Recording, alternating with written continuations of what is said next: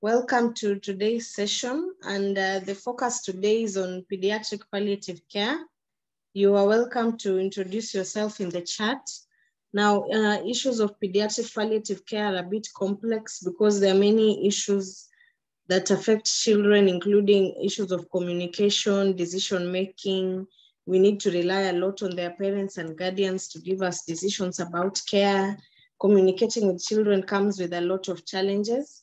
So this afternoon, we are going to look at uh, a case presentation, and uh, we're also going to have a presentation on pediatric palliative care. So I would like to introduce Professor Julia Downing to give us a presentation on pediatric palliative care. She's currently the Chief Executive Officer of ICPCN, the International Children's Palliative Care Network. She has worked in palliative care for over 29 years with a lot of experience pioneering palliative care services for adults and children in East Africa, especially in Uganda, in Africa, in Eastern Europe, and she's she has a vast experience in research and teaching in palliative care. Welcome, Professor Julia. You can start sharing your screen. Please let us mute our microphone. We are not presenting. Yeah, kindly mute your microphones. Thank you. Over to you, Professor Julia. Thank you, Esther, and uh, it's good to be here and to see you all. When I look at the list of participants, some of you I know well, and others are new to me. And I can see that we have a range of participants, some who work in palliative care, and others who are working more in the humanitarian setting. And so I'm going to talk to you uh, this afternoon for, um, about providing palliative care for children in vulnerable, fragile, and conflict um, affect, affected settings.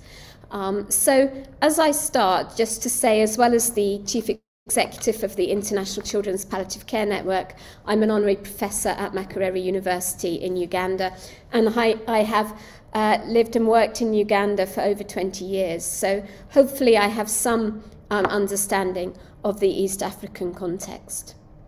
So, as we start, uh, this picture of these two little children, and uh, I think Zippy's on the call, and I think these were two children uh, that Zippy looked after. And it just reminds me, this picture, that as we're thinking about palliative care for children, our aim is that they will have life right up until the time that they die. We want to make sure that they have a good quality of life and that where possible, they are able to um, live their lives as children. So let's just think about uh, what we're going to look at in the next 20 minutes. So I'm going to talk about children's palliative care. And I'm going to talk about some of the principles of children's palliative care. And hopefully we can then apply those principles to how we can improve the quality of life for children and their families in humanitarian settings. Um, I'll be talking about principles and we'll think about how do those principles apply to vulnerable, fragile and conflict affected areas. Um, how do we integrate children's palliative care into the care that we provide? And then I'll look at some of the challenges that we as humanitarian healthcare workers will face in providing children's palliative care. So I think to start with, and I know some of you are just attending this session, some of you are um, attending the whole series of um, sessions on uh, palliative care. And so you'll be very familiar with the definition of palliative care. But I want us just to think about the definition of palliative care for children. Um, and this is from the World Health Organization.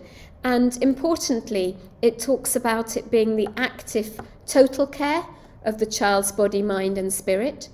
It talks about beginning from diagnosis and continuing on regardless of whether uh, an individual has treatment directed at the disease or not.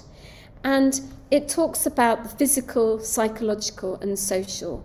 And importantly for us, in the humanitarian context, it says that palliative care should be implemented wherever the child is, whether that be in a hospital, in a clinic, in a refugee settlement, whether it be a child who's currently um, sheltering from bombs in an underground um, basement, wherever that child is, we need to look at how best we can provide palliative care. And we know that palliative care provides relief from pain and other distressing symptoms. It affirms life and enhances quality of life, and that's what we're looking at, isn't it? How do we make sure that these children and their families have a good and the best possible quality of life? And I think within the humanitarian setting, that is even more challenging um, than in, in a normal setting. It's about providing support um, to help the children.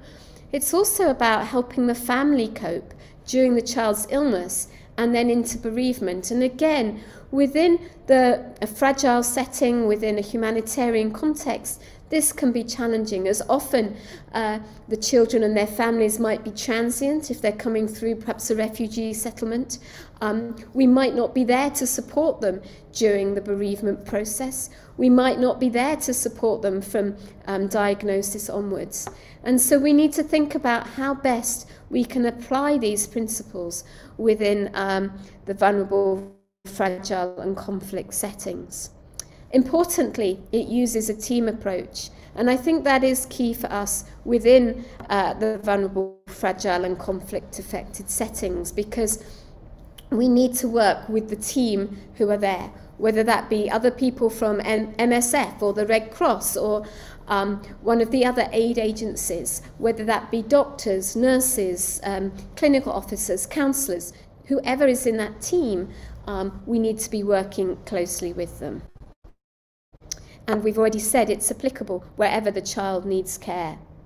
So just a, a quick thing, can you put in your in the chat uh, when do you think is the best time for palliative care to begin for a child with a life-threatening disease? when there are no more curative treatment options available, when the child has less than six months to live, when the family can no longer afford treatment, or when the child is diagnosed with a life threatening disease. If you can put A, B, C, or D in the chat, and we can see your thoughts, and I can see some of you have already done that. Yes, and it's great to see most of you are putting in D. I think nearly everybody's putting in D. And that is so important for us. We need to be thinking about providing palliative care from when the child is diagnosed with a life threatening disease. But again, within a humanitarian setting, this might be challenging. We might not have seen the child uh, when they were first diagnosed. Uh, they might have been receiving treatment elsewhere. We might not get to see the child until um, towards the end of life. We might not even get to see the child until their last few days, depending on the setting in which we're working. And so we need to think about how we can apply these um, our principles to, um, to uh, a fragile um, setting. So let's just think about who are the children that need palliative care and uh, I've used some of Megan's slides here. Um, so obviously children living with a progressive condition, a condition where there's going to be ongoing deterioration of their health and or their abilities. Uh, children living with a life-threatening condition and also children with significant pain and um, or other symptoms which palliative care can address. So a range of children needing care. And if we look at the global atlas for um, palliative care, we can see that there's a wide range of conditions uh, that children have who need palliative care. And interestingly, uh, premature birth and birth trauma and congenital malformations is quite a large group. And again, we see this um, often within fragile and vulnerable settings that, for example, women might well go into labour early on, and so there might be more children who are born prematurely. They might have given birth in not ideal circumstances, and so uh, the impact of birth trauma. Also, we know HIV um, and also the, the issue of malnutrition. And again, these are two key issues for us working within the East African context and working within the um, vulnerable, fragile, and conflict affected areas. If we look at um, some work done in the UK by Together for Short Lives, they've identified four groups of children. Uh, the first are those with life threatening conditions for which curative treatment may be feasible, but it might fail, or else for many of our children in, uh, in humanitarian settings, they might not have access to that treatment. Conditions where premature death is inevitable, progressive conditions without curative treatment options, and then irreversible but non progressive conditions causing severe disability, leading to susceptibility to health complications and likelihood of premature death. And again, working within the fragile and vulnerable settings, uh, these children um, are more likely to uh, become susceptible to these health complications, maybe due to um, uh, lack of, of food, maybe due to the fact that they've had to travel and they've had to um, to, to move uh, regularly. And so these are four groups of children who might need access to palliative care.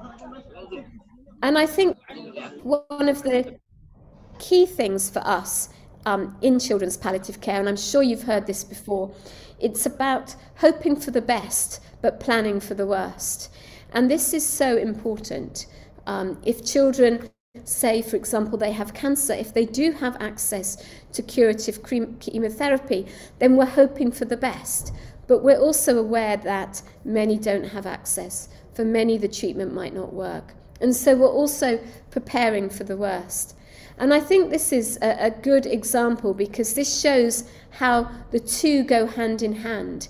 It's not a matter of curative treatment or palliative care, but the two very much go hand in hand. So let's just think of some of the principles of palliative care in children.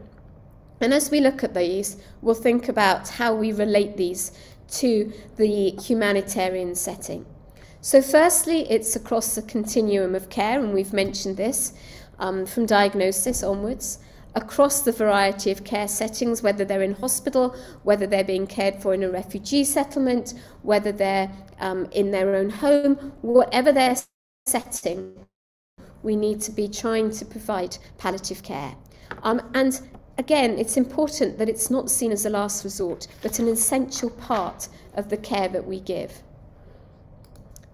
This is a, what's known as the bow tie model, and this shows the parallel planning process um, for within palliative care.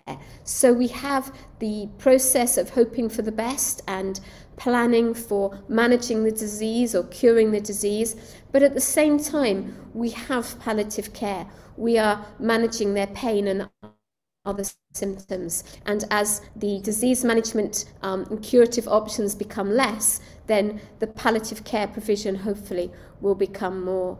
So it's this parallel planning.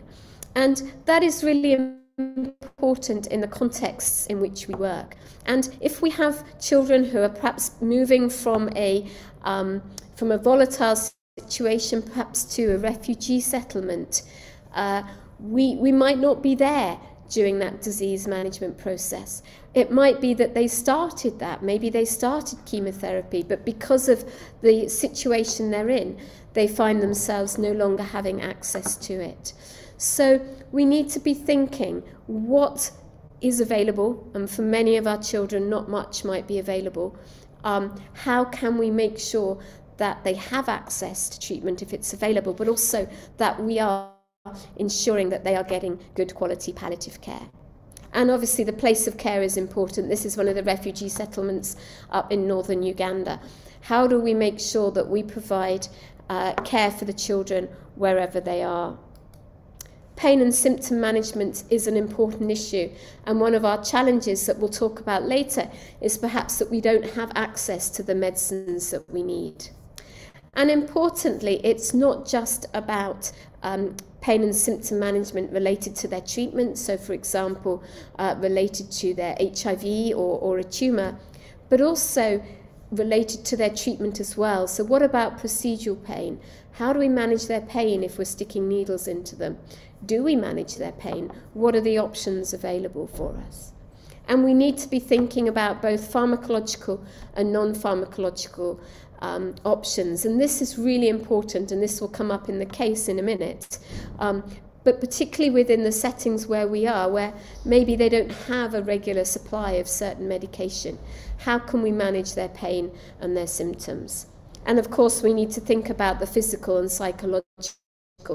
And that leads us on to the need for emotional support for all children, regardless of their age. And of course, for many of the children that we're caring for, if they have um, come from a uh, conflict affected area, um, if they've had to leave home, they've already got those fears, they've already got those anxieties, they're already in a strange place. So that just adds to the emotional needs both of the child and of their families.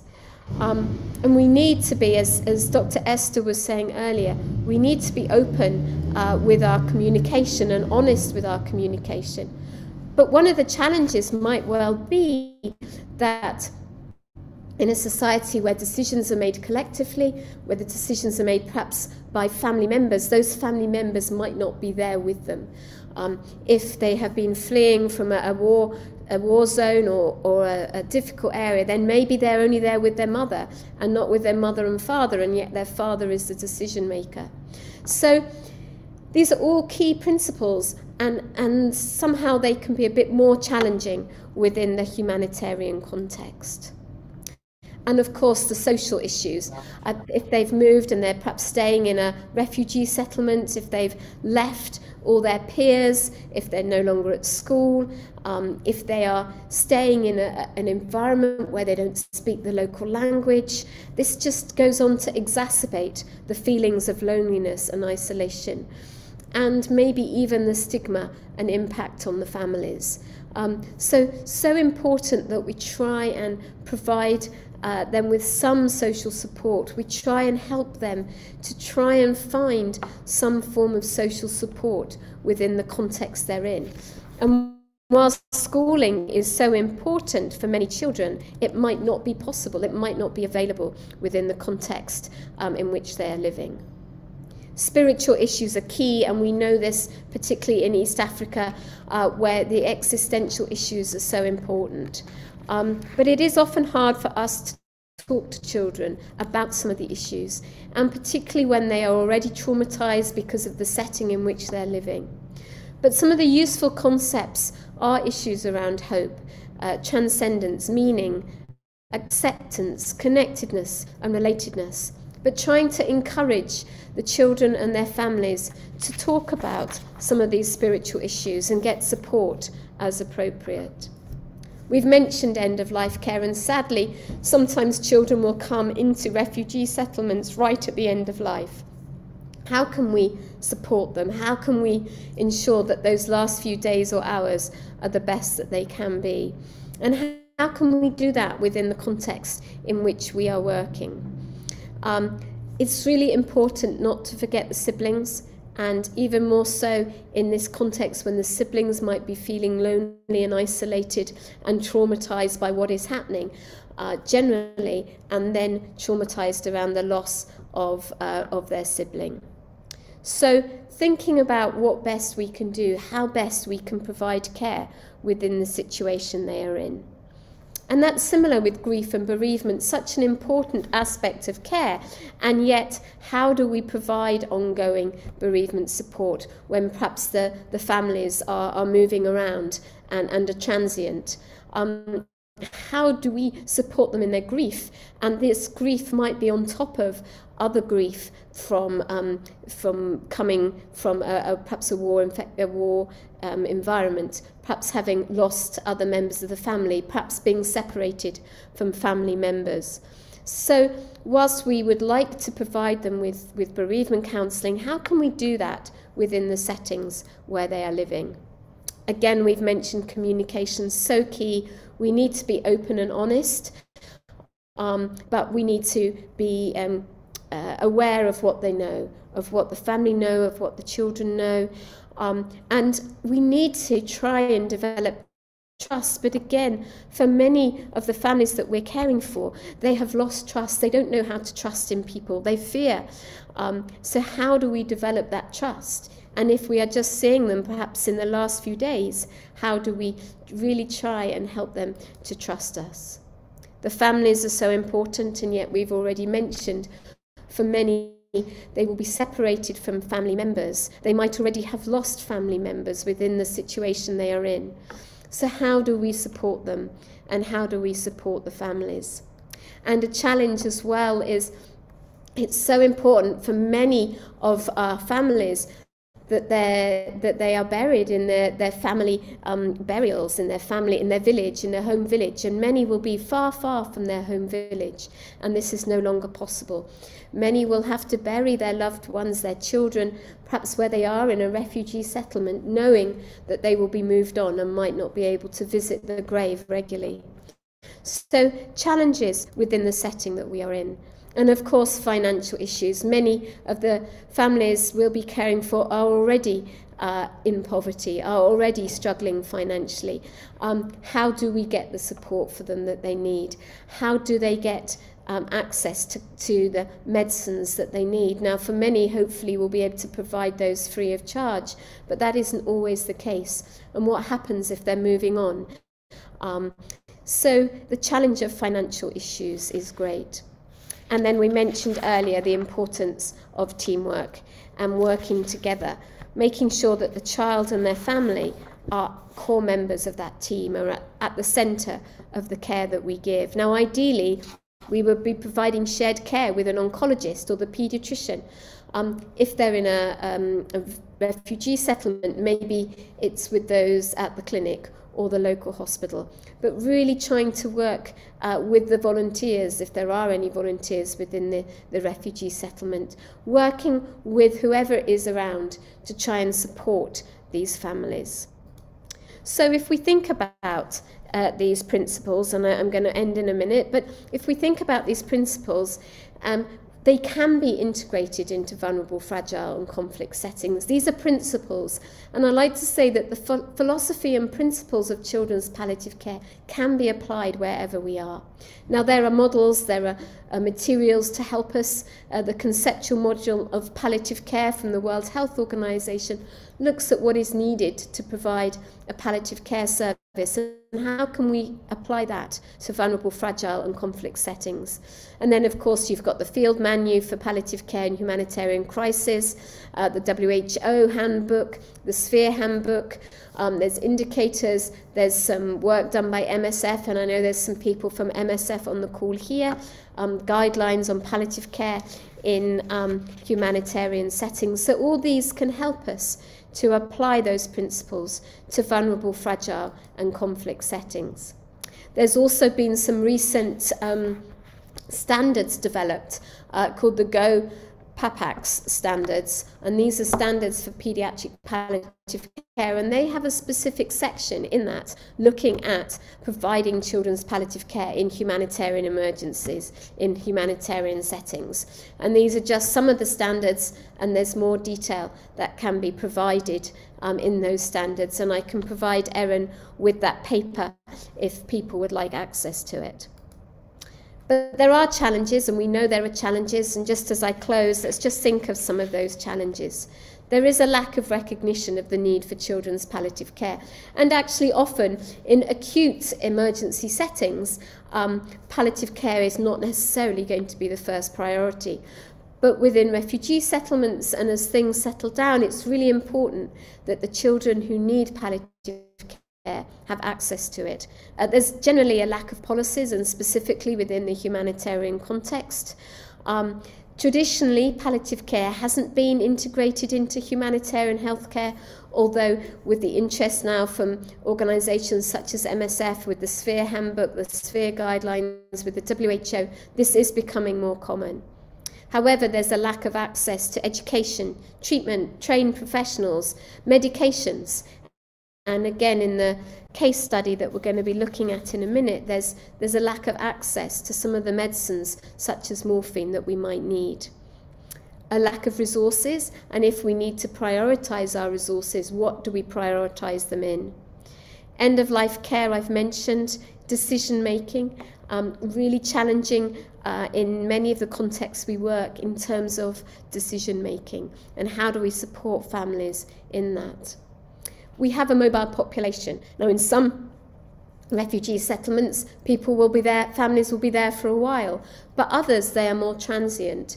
And wherever the child and their family is, we need to be looking at how we can provide palliative care.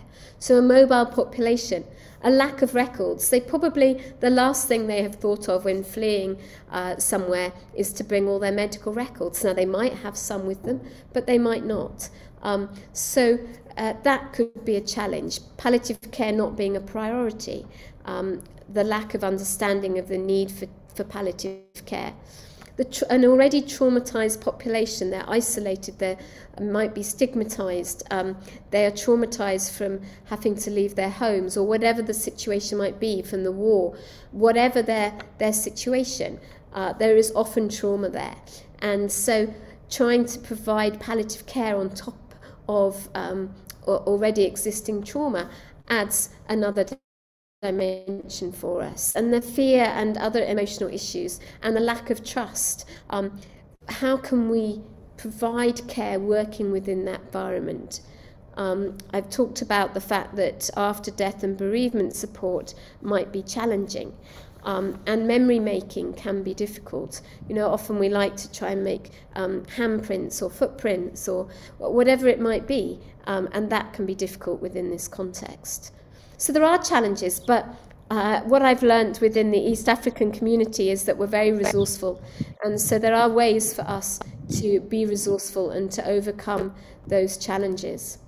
And just finally, this is, um, you might well have seen this already, but this is a map looking at morphine equivalent. And you can see that many of the areas where we are um, caring for people in, for children in vulnerable, fragile and conflict affected settings don't have access to morphine equivalents, to the medications that we need.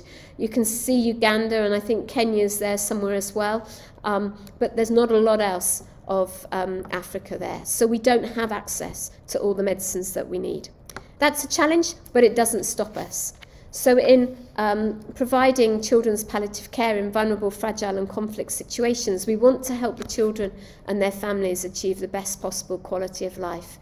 We want to relieve their suffering, body, mind and spirit. We want to care for them with competence and compassion. And we want to respectfully accompany the child and their family on their journey as much as we can. To make sure that all of the children living in vulnerable, fragile, and conflict afflicted settings can have access to palliative care. Thank you.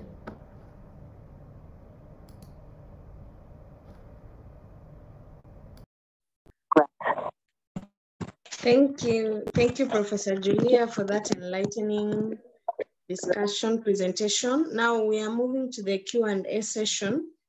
Uh, anyone with a question or comment, please feel free to raise your hand. Then uh, we'll unmute and you can be able to ask your questions. You can also type in the chat if you're unable to unmute or raise your hand.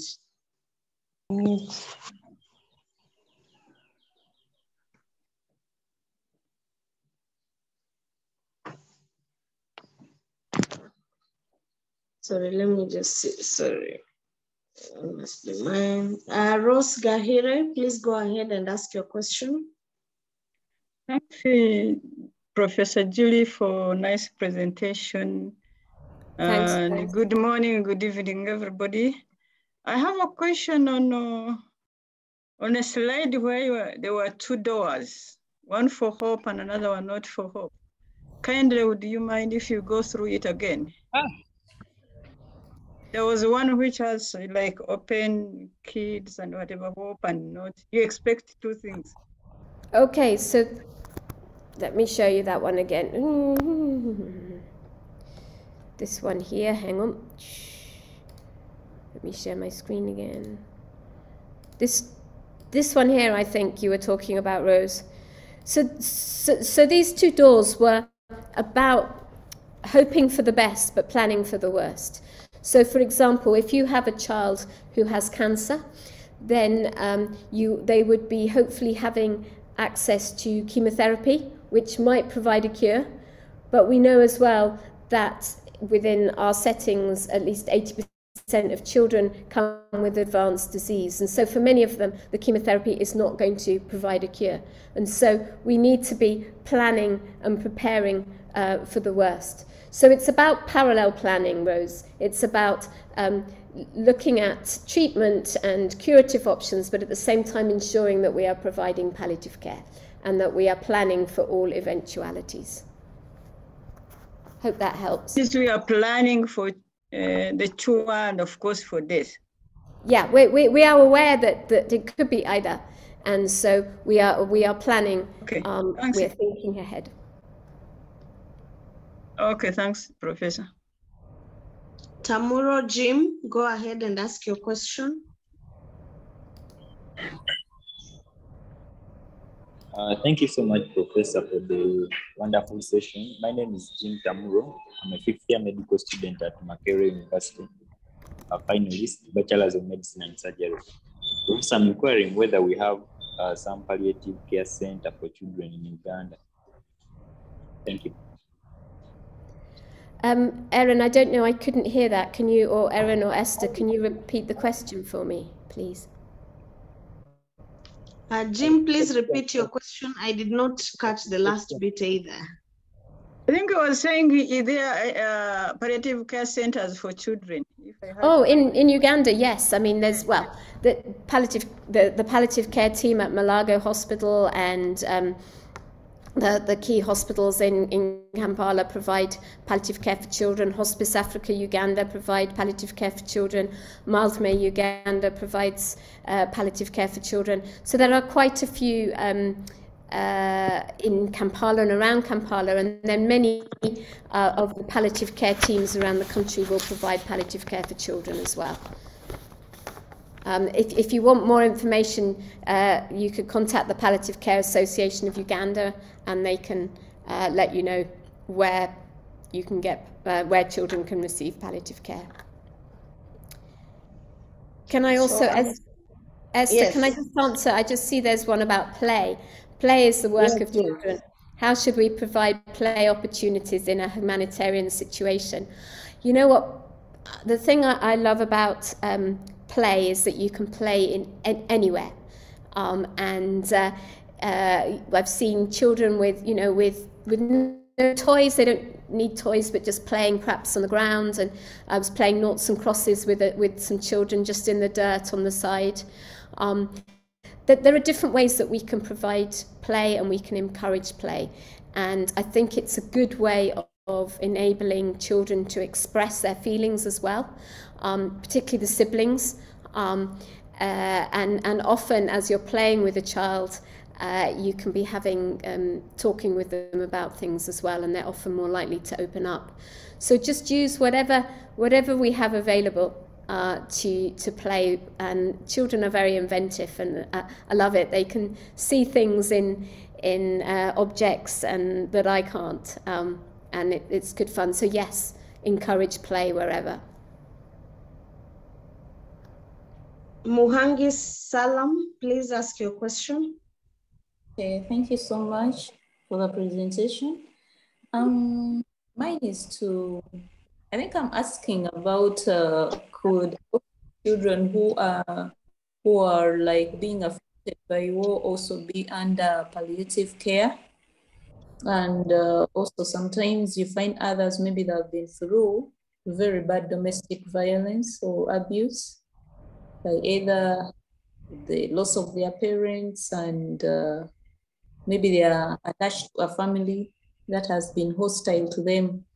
Do we grade that as rehabilitation or palliative care, or could they benefit from the palliative care, or something help me understand between palliative care and rehabilitation in that regard? Thank you. Okay, so um, if you think about at, at the start of the um, of the session, we looked at the, the types of children who needed palliative care. So those with progressive conditions, life-limiting and life-threatening conditions. Um, now, in, in terms of, I think your first question was, children um, impacted by war? Well, sadly, in war situations, children get hurt, children um, get very traumatized. Um, you will have children who are needing palliative care who are find themselves within a war situation. So I, I think in, in a in a war situation, we just we are providing in an acute war situation, we provide the care that we can to those children who need it.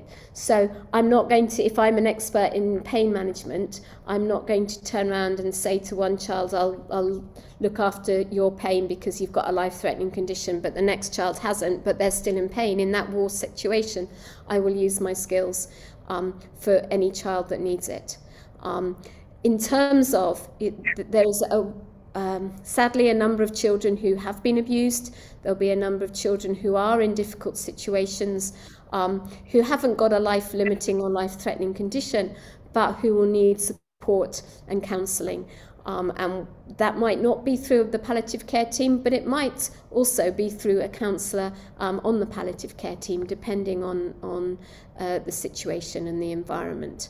Um, so certainly I know in, in several of the um, refugee settlements where I, I've worked, there's been counsellors and they have provided counselling for the children and if we need them to provide support within the palliative care context then we ask them to. Um, so within it, it's, it's just seeing what support and what care they, they need and referring to make sure they get that care that is needed. Okay, thank you so much. Another one is still, how do we categorize pain? There is emotional pain, physical pain. So I'm wondering, does palliative care take care for only physical pain? No palliative care, like we talk about total pain, which is physical, psychological, social, and spiritual. And that's why those, and cultural as well. And if you add in, um, if we're thinking about children in um, fragile, uh, vulnerable and conflict-affected um, areas, there will be the pain from, from that trauma as well. Um, and so within palliative care, it's really important that we look at the total pain that the child and their family are experiencing. Um, and, and they're all very much interlinked um, as well. So by relieving and supporting a child in terms of psychological issues, then that might help with their physical pain as well. So it's about seeing the child um, in their total context, uh, not just physical, um, but the psychological, social, spiritual, etc. Thank okay, you so much. We, we have some comments in the chat. Um, many participants are appreciating the good presentation. And uh, there are a few comments that it's important for us to think of siblings when we are taking care of children and also for healthcare workers to, to rethink about uh, procedural pain. And uh, the final question is about measures to ensure that children from hard to reach areas can access palliative care. Professor Julia, are there any measures that we can use to ensure accessibility for example, um, says in countries like Uganda, palliative care centers in, are in the capital city, and these people are already having financial challenges. Okay, so in countries like Uganda, uh, there are palliative care programs across the country. Um, the Palliative Care Association of Uganda has a list of all the different programs.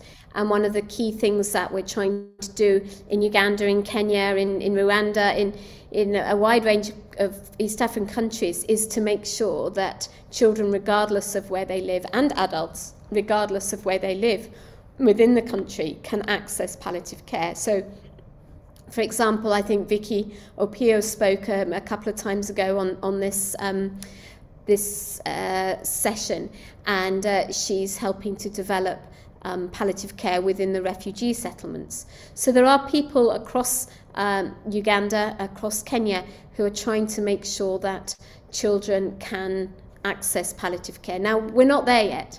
Um, if we were there yet, then then we wouldn't be needing perhaps sessions like this. Um, so it's an ongoing challenge, uh, but that's something that we need to be working working for together is to ensure that children and adults, wherever they live across the country, can access palliative care. And there are good networks between palliative care providers that help with that. And I think there's also a, a comment there about siblings, and I, I, think that's the same the same thing. It's it's actually how do we make sure that the children and their families, including the siblings, get the care that they need, uh, regardless of where they live. Okay, I think we'll take uh, this as the final question for this session. Is it possible to provide palliative care in countries like Congo, where curative care is a challenge? It's definitely possible to provide palliative care in countries like DRC. Um, in fact, I was talking to someone just yesterday um, providing palliative care in Aru, um, and I know of other um, palliative care programs uh, that are um, in place in, in the DRC. Uh, it's not easy. Um, the DRC is a very big country, uh, spread apart by different terrain. Uh, we know that there's challenges in terms of the humanitarian context in the DRC. Um, so it's not easy, but it is possible. Um, and we just need to try and. Um, Liz Gwyther from South Africa always used to say we might not have a lot of resources, but we are very resourceful. And we need to be resourceful and innovative and think outside the box as we try and uh, provide access to palliative care for children and their families. Thank you so much. Thank you, Professor Julia, for that uh, wonderful presentation and discussion. Now we would like to move to our case presentation, and I would like to welcome uh, Erin Das.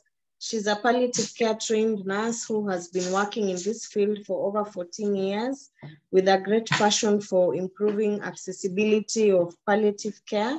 She has worked in very many countries and um, this include Canada, Tanzania, USA, Papua New Guinea, and she's now in Kenya, where she's working with um, Cancer Support Trust and the Kenya Hospices and Palliative Care Association, where she's a faculty in the Palliative Care Nurse Leadership Program.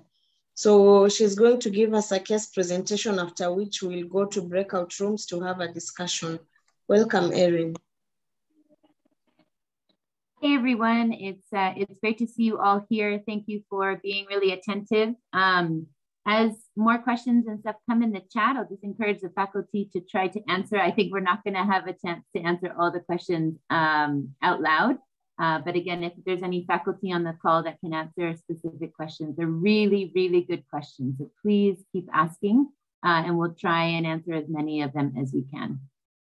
So today we're going to be talking about uh, a case of a of a child. Um, and any faculty that's been given co-host capabilities, if you can just watch the if people are unmuting during the call. Thanks. All right, so the questions that I want you to remember or think of during this case presentation are the following. What is the best approach to managing an acute, possibly reversible deterioration in a child with an incurable condition? The next question is how could we better manage this child's breathlessness, especially since morphine was not available at the time? Next, how could we have supported this family's preference to take the child home, given her dependence on oxygen, and what is the best approach when a family requests to see a traditional healer? And the final question is, what other suggestions uh, can be given to improve the care for this child and family? So these are the questions that we're gonna talk about and think about in our discussion uh, groups after. Um, but now I want to present the case to you this afternoon. So the patient is a five-year-old female with a congenital heart disease uh, diagnosed on April 24th, 2021. And the disease was transposition of the great arteries. Her other diagnoses were severe acute malnutrition plus bronchiolitis plus septic shock. So in terms of her treatment uh, timeline, she was presenting on April 24th. She was admitted to the facility for fever, severe respiratory distress, and diarrhea. Her family sought treatment at multiple other hospitals, uh, but when she was at the facility, her murmur, uh, she had a murmur in the aortic region and hepatomegaly plus three centimeters. She was showing chest indrawing, wheezing, severe hypoventilation bilaterally, and she was started on oxygen 10 liters per minute by reservoir mask.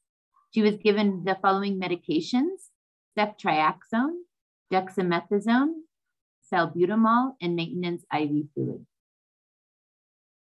Then on April 28, her condition slowly improved. She was an inpatient, and our team was able to wean oxygen to two liters by nasal cannula, but the child continued to have moderate respiratory distress.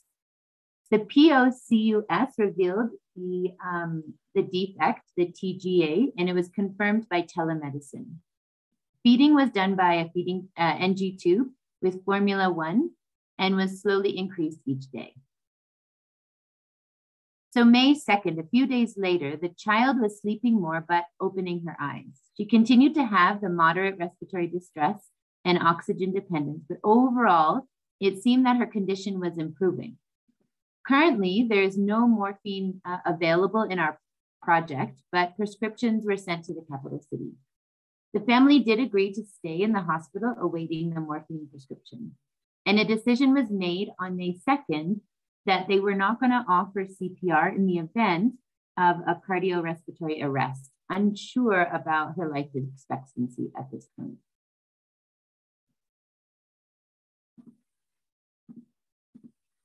So then on May 4th, so just two days later, there was a sudden deterioration. She began with the fever again, severe respiratory distress, desaturation, CRT of um, more than three seconds, fever again tachypnea, elevated white blood count. And the team at this point suspected potential reversible septic shock. Um, fluids were given and ceftriaxone and cloxis, sorry, cloxacillin was restarted. And her oxygen uh, had to be increased to 14 liters. By May 6th, so again, just two days after that, consultation was made with palliative care advisors and the um, mission pharmacist. The morphine, unfortunately, still had not arrived, so she was started on IV tramadol, um, uh, Q6 hourly, but unfortunately, there was no significant improvement noted. There was a plan, plan was documented in her file to leave the oxygen in place, but not to escalate um, her care in case she deteriorated any further. She had generalized tonic convulsions that lasted three minutes and ended before any medication was able to be given and the plan to treat aggressively with diazepam if any further signs of convulsions or agitations occurred.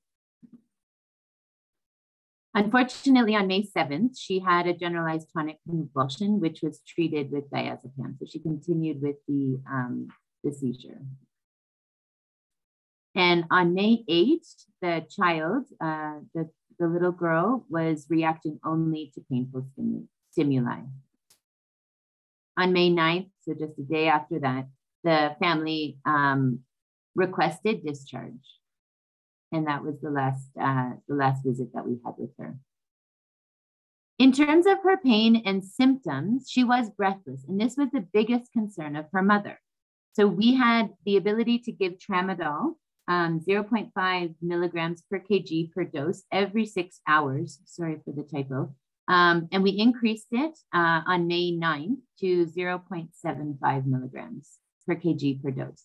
We considered diazepam, but it wasn't um, given for this indication of breathlessness. And then we did positioning and chest physiotherapy. For her fever, uh, this continued to be a problem throughout her, her time at the hospital um, and her acute deterioration on May um, 4th. So we continued with scheduled paracetamol and ibuprofen.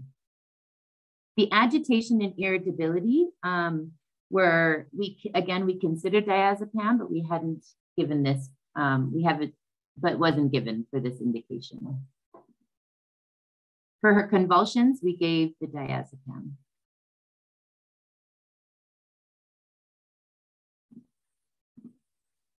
And in terms of pain, um, we were inquiring whether it could have been the phlebitis or skin breakdown, um, possibly due to the IV. And uh, we provided skincare and again, paracetamol and ibuprofen for that. In terms of nursing issues, um, I hadn't mentioned it earlier, but on May 6th, she developed IV phlebitis. Her IV access became progressively more difficult um, to do uh, and to access new IV sites due to her edema. On May 7th, she developed skin breakdown in her perianal um, area due to frequent loose stools of, of the diarrhea. So it did require frequent hygiene care and zinc oxide, and it, it did improve slowly.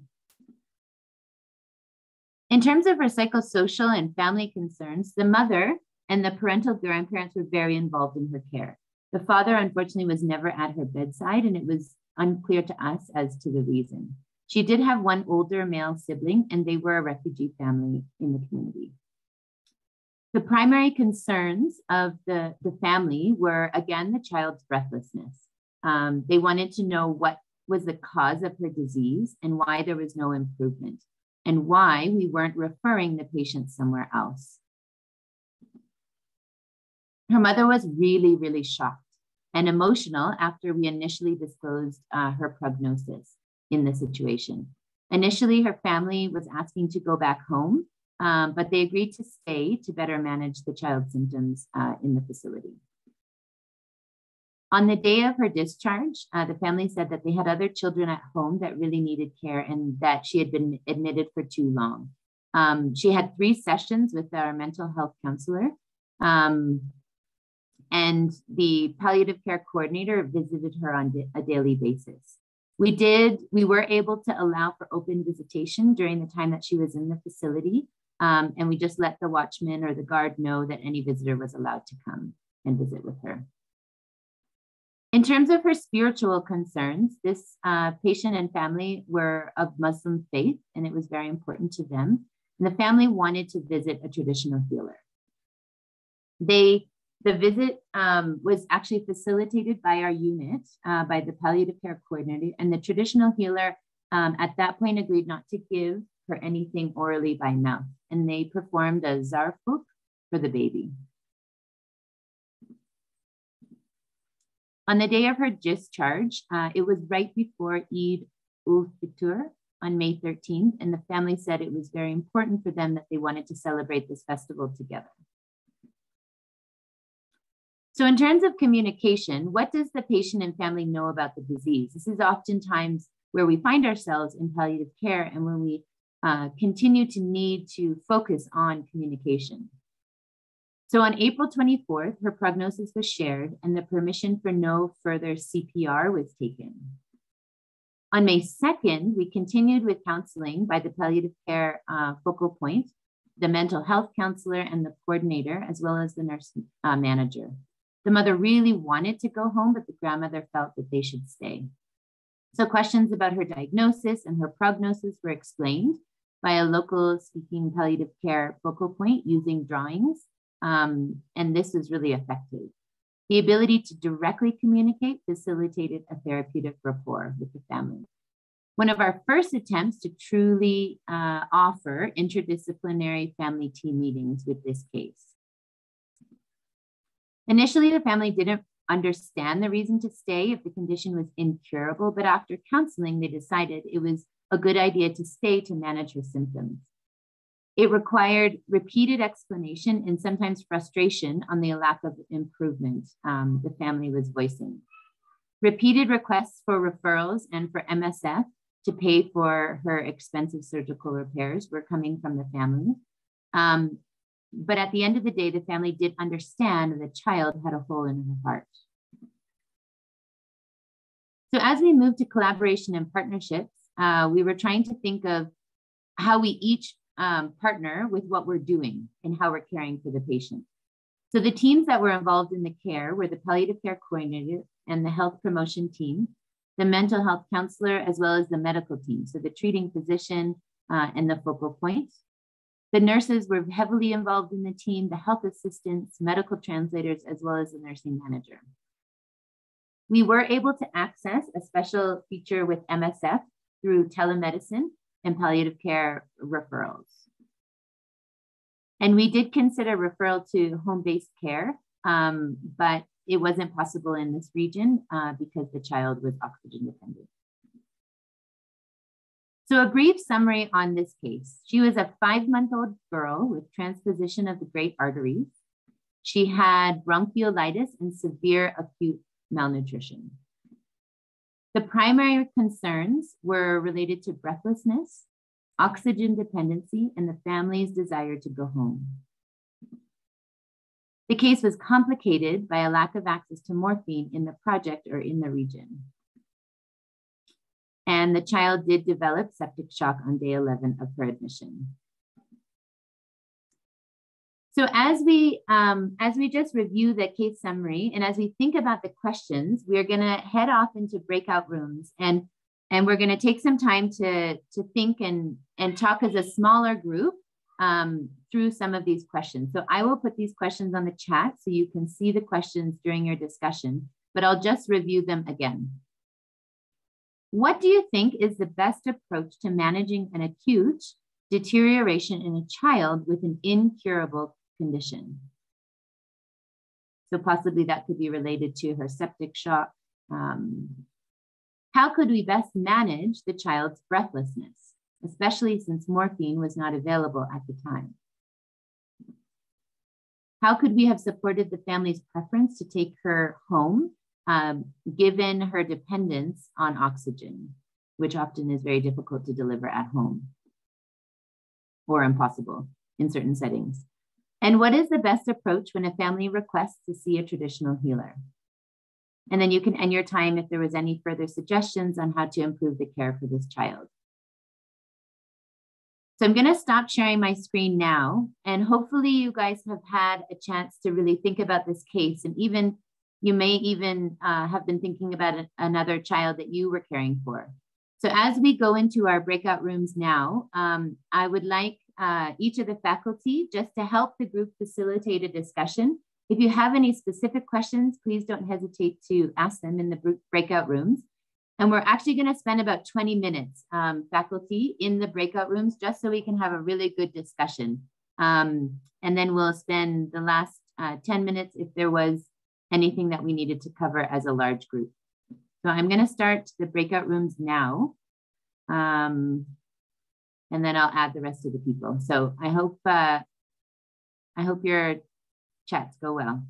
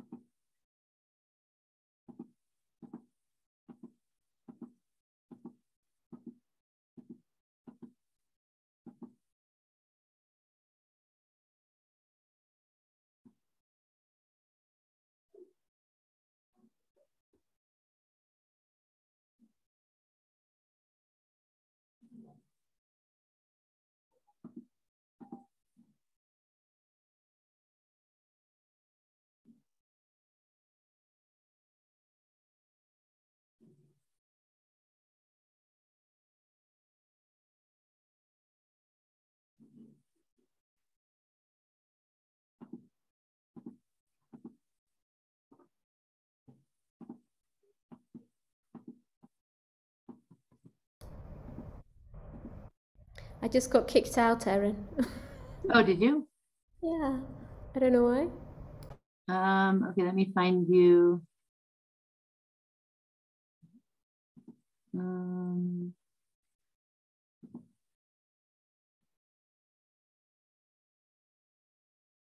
uh, how do do this? Do you remember what room number you were in? No, I don't.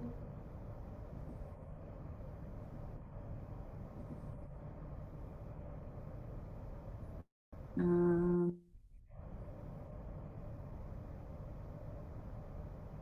it's not letting me add you to room three yet. Let me try and add you to another room and I'll put you back in room three.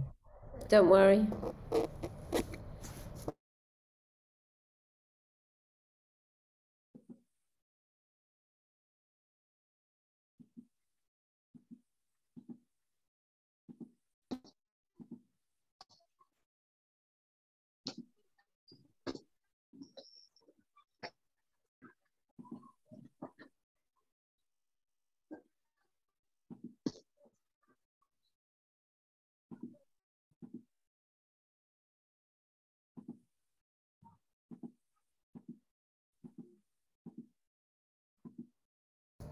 It doesn't like me in room three. It kicked me out. Oh, oh that is so bizarre. Um, they're they're busy chatting. I, I went in. I Are heard they? them so oh, this is so weird. Okay, let me try.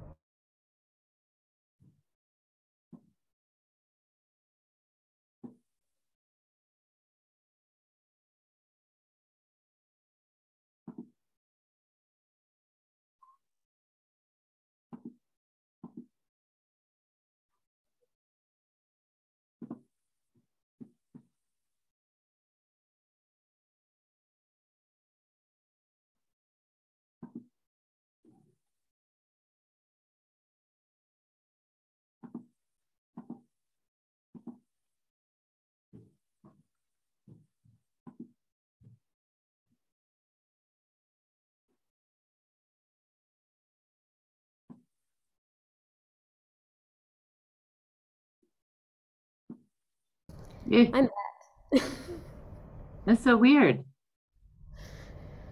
Oh, worry. Um, there isn't a faculty in room six, so do you want to actually z- log out of your Zoom and then come back, or shall I try? maybe because we still have like the people are going to stay on the call till five thirty, or like till half past the hour. Okay, let me see if I can come back in then.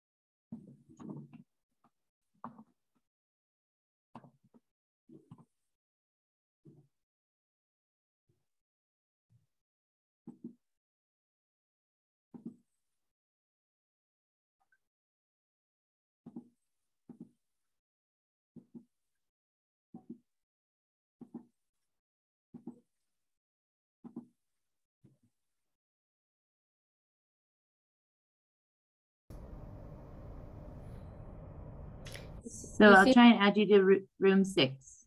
Okay.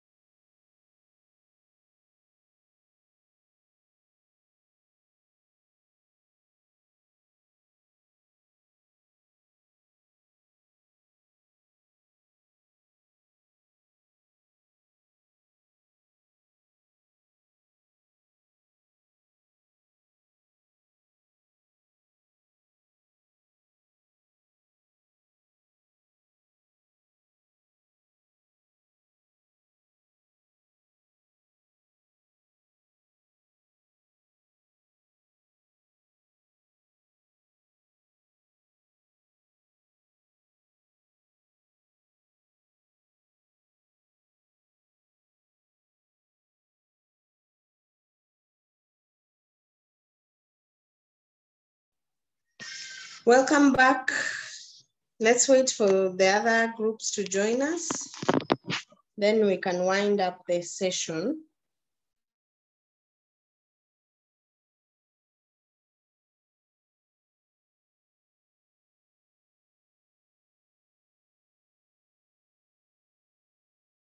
Erin, are, are all the groups back?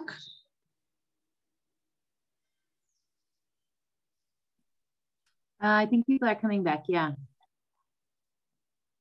Um,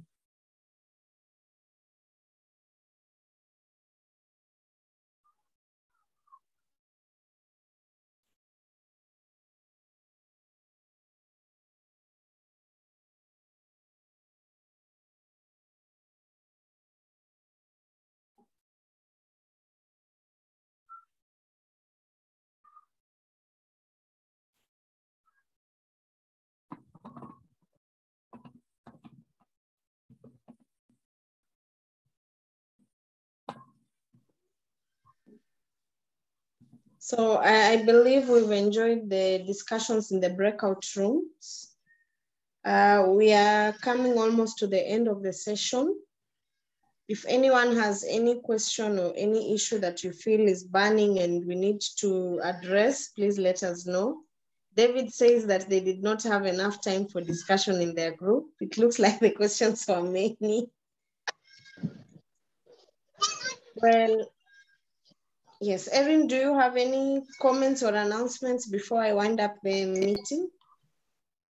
Um, Hello. We have a few more minutes. I don't know if Dr. Ali or David or Dr. Esther, Ninga, or Professor Julia or yourself, Dr. Esther, wanted to comment or summarize a few things that were shared.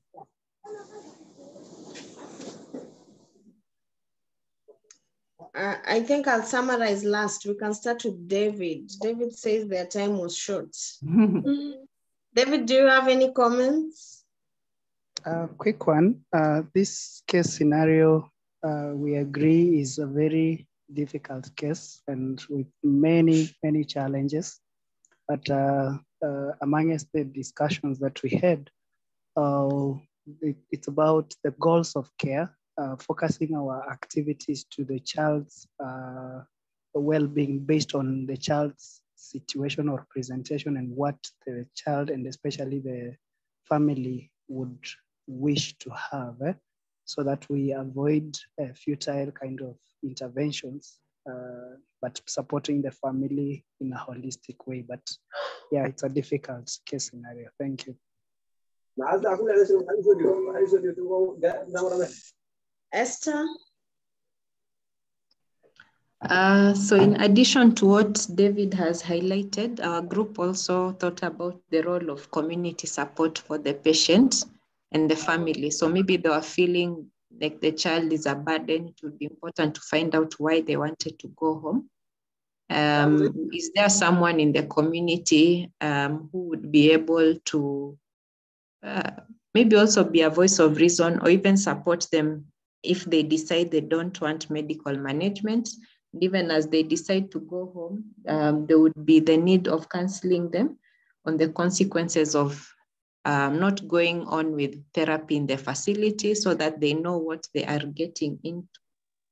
And then another important uh, idea was to see if they wanted to create memories with their with their child for the time they have had left because we know it was not a curable curate, uh, curative um, type of care for her.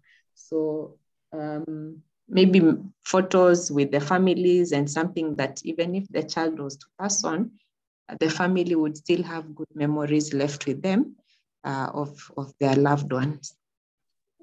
Thank you. Thank you, Mr. Dr. Zippy. Hello, madam. Hello. Uh, Dr. Nakula, I'm driving. Uh, can can I request uh, turn? Turn, turn oh, can you? No problem, no problem. It's okay. Turn can actually summarize. He did out of talking. Sorry. All right. Okay. Uh, Erin? Yeah, I uh, I think so this is one of the first times we've had a longer discussion, and this is what we hope to in the future continue with the course so that we have time during our lectures to, to learn new information, but then we also want to hear from each one of you. So I'm really sorry, it sounded like a few groups had some people that were unmuting and there was lots of background noise. Um, so I am sorry for that. I think we just need to take into consideration each person in the on the team that's trying to learn. Um, and I would encourage you with this case to think about, um, sorry, to think about this case with your colleagues, um, maybe over a tea or something like that, and, and talk about the issues um, with someone that you work with um, to continue the conversation. As we move forward, um, we will share the presentations with you. We'll uh, share the recordings as well. Um, and yeah, thank you to everyone who joined this open CME. We, uh, we're really glad that you did join us. The course is an ongoing course. It runs for 11 weeks. And if you are interested in joining the regular sessions that happen on a weekly basis, please don't hesitate to reach out and email us at our email, which is PC for palliative care, humanitarian, echo at gmail.com. I've uh, shared it on the chat and I can share it again. Uh, and we'll be most likely running this course again in a few months once we finished our first course. So um, if you're interested in attending all of the sessions, we would uh, encourage you to, to reach out to us. A really, really big thank you to Professor Julia Downing and to Dr. Esther Nafula, who um, really ran the program so smoothly today. Um, and I, I think we couldn't keep up with all the questions. There's so many good questions. Um, and it's really great to see each one of you here. I think a big part of learning is being willing to ask questions when we don't know. Um, so thank you so much for being vulnerable with us as a group today. And I hope you have a really great, um, a really great week. And we'll see you again on Tuesday for those that are in the normal course. Thanks so much, everyone. Thank you. Bye, everyone. Have bye, everyone. Thank you. Bye. Thank you. Bye. Bye. bye. Thank you. Good day. Good evening. Bye.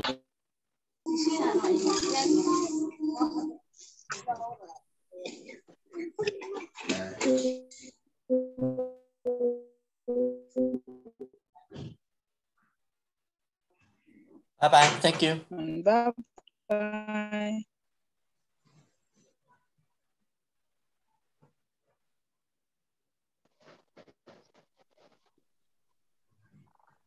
Ada batas saja.